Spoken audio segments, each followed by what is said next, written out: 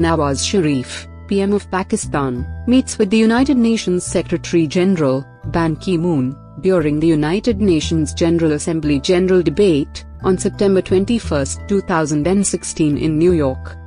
Actor George Clooney, and his wife Amal Alamuddin Clooney, attend the CEO Roundtable, on the sidelines of the 71st session, of the United Nations General Assembly in New York, on September 20, 2016 in New York.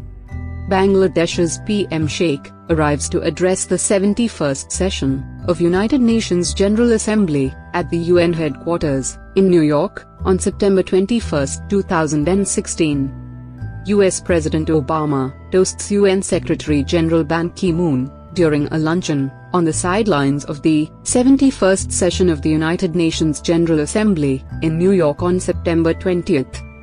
Media members work during the 71st session of the UN General Assembly in New York on September 21, 2016. Croatia's President, Kolinda Grabar-Kitarovic, waits to address the 71st session of the United Nations General Assembly at the UN headquarters in New York on September 21, 2016. Aung San Suu Kyi, State Councillor and Minister for Foreign Affairs of Myanmar, has photos taken with other delegates prior to giving her address at the United Nations General Assembly General Debate on September 21, 2016 at the UN in New York.